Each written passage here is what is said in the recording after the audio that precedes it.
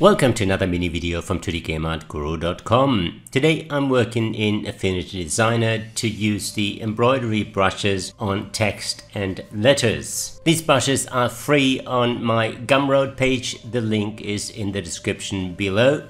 I initially created them for basic shapes. Text is a little bit more complex and if it's too thin like this first example, all you see is the brush stroke and no fill. The thicker the text gets, the more of the fill I see and the more sense the embroidery brush makes. You can set the brush to different settings. I can put it inside, which doesn't work at all, or outside, which still looks odd. To me, aligning the stroke to the center looks the best for this set of brushes.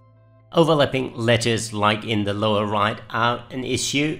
It looks better when you convert them to curves, group them and then apply the effect to the text as one shape or one compound.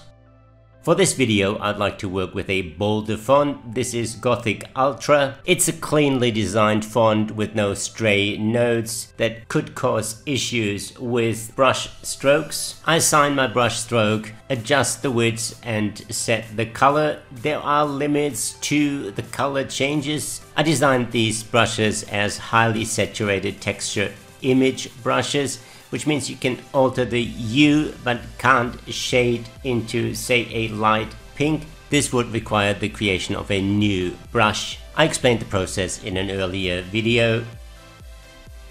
The embroidery brush gives the illusion of depth. I emphasize this by adding an outer shadow to the letters. As you can see with the corners of the A or the tight corners of the B and the C, there are issues when a brush gets twisted too much. To avoid that, I go in with the corner tool, round these corners a little bit. You can select multiple corners and round them at the same time. This usually fixes issues with tilted lines in your brush as well, at least to some degree. The easiest way to store these attributes, fill, stroke, outer shadow or other effects is by using a style. Problem is if I assign a new style to say the C, it overrides all these settings.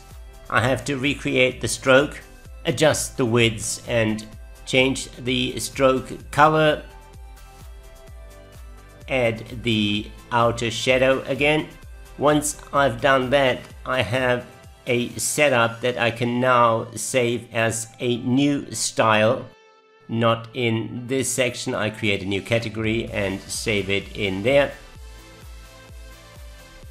You add from the existing selection and then I can assign it to my other letters.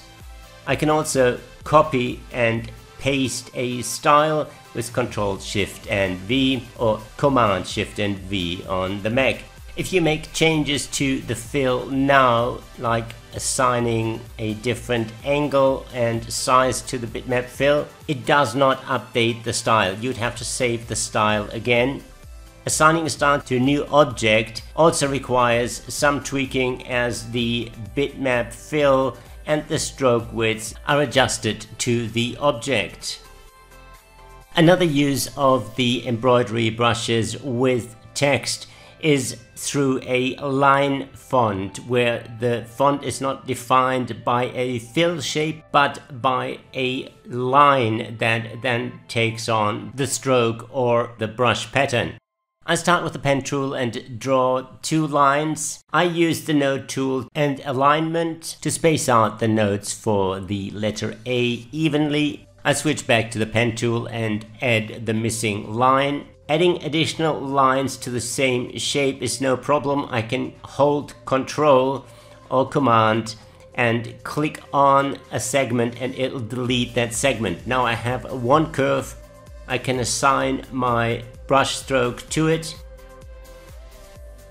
I change the stroke color and use the corner tool to fix the angle issue at the top. If you want to keep the corner like this, bake it Otherwise, the corner will be readjusted each time you scale your object.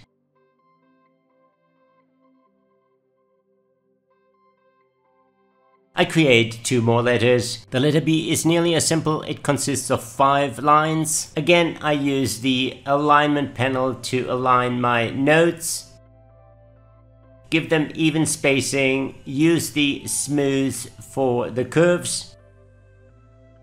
Adjust the handles and have a nice looking, somewhat even letter B.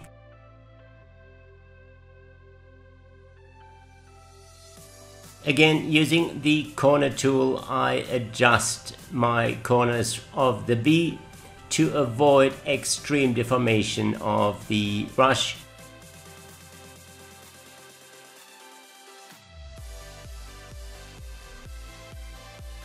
The C is a circle with a part missing. I convert the ellipse to curves, use the node tool, add two extra nodes and delete the two segments.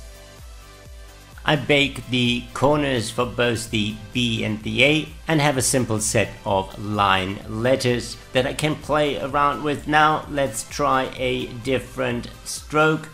I created the black set because there was no easy way to create pure black. I can now easily change the brush to a different stitch adjust the widths and get a completely different look. I created an alphabet in this style with six different brushes. It is available on my Gumroad page, the link is in the description below. Just add a zero in the price field and you get this file for free. Check the file out, play with the letters, add different strokes. They don't have to be my embroidery strokes. I'm sure there's cool stuff that can be done with these letters. Have fun with brushes. They are an awesome tool, especially when you start creating your own. If you want to learn more about it, maybe look at the embroidery video I recorded earlier. It shows you the use and the creation of these brushes. There's also a whole bunch of tutorials on my website on creating brushes I hope you enjoyed this video. If you did, please subscribe to my channel, click on the notification icon, leave a like, and I will see you again soon.